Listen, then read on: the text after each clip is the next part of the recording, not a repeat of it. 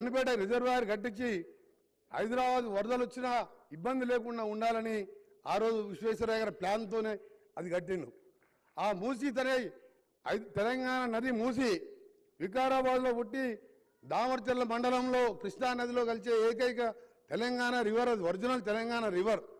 ఇవాళ మురికి కూపంగా మారిపోయి దాంతో చుట్టుపక్కల ఉన్న వాళ్ళే కాదు హైదరాబాద్ రంగారెడ్డి నల్గొండలో ఒక కోటి మంది ఆరోగ్యాలు క్యాన్సర్లు లంగ్ ఇన్ఫెక్షన్లు వస్తుంటే దాన్ని ఒక ఛాలెంజ్గా తీసుకున్న ముఖ్యమంత్రి గారు దాని మీద మాట్లాడుతున్నాడంటే వీళ్ళు ఎక్కడ చదువుకుంటారా ఆయన గుంటూరుకి వెళ్ళి అమెరికా పోయినట్టు కానీ నాకు డౌట్ అయిందంటే గుంటూరులోనే చదువుకున్నట్టు అమెరికా పోనట్టును నేను అహ్మదాబాద్ రివర్ పోయినా పోయినసారి ఎంపీగా స్టాండింగ్ కమిటీ మెంబర్గా గాంధీ ఆశ్రమం తర్వాత సబర్మతి ఇష్టం పక్క నుంచి పోతుంటుంది. మేమందరం ఎంపీలం పోయి ఆ నీళ్ళు తాగినాం. అది స్వీట్ డ్రింకింగ్ వాటర్ లా ఉన్నది. అహ్మదాబాద్లో మోడీ గారు ఉన్నప్పుడు దాన్ని ఖర్చు పెట్టి చేసుకోవచ్చు. నమామి గంగా చేయొచ్చు. ఇక్కడ బీజేపీ మాత్రం మూసి ముట్టుకుంటూ ఊక్కునే లేదని కిషన్ రెడ్డి గారు మాట్లాడతారు.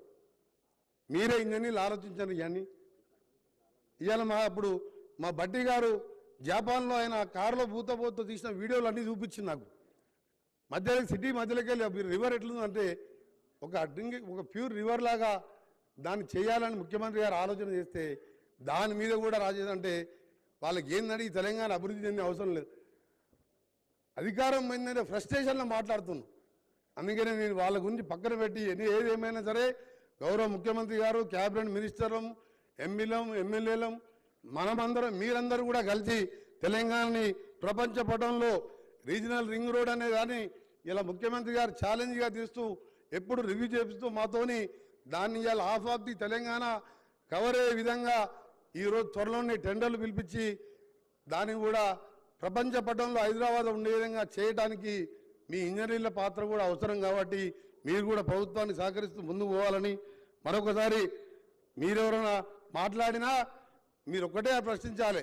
మూడేళ్ళ కింద ఎగ్జామ్ పెట్టి ఎందుకు నువ్వు ఆడ ఆర్డర్లు ఇవ్వలేదు ఇవాళ ఈ ముఖ్యమంత్రి ఈ ప్రభుత్వం వచ్చినాక మీ చేతికి ఆర్డర్లు వచ్చి మీకు రేపో మాపు పోస్టింగ్లు వచ్చి ఉద్యోగాలు చేయబోతున్నారు.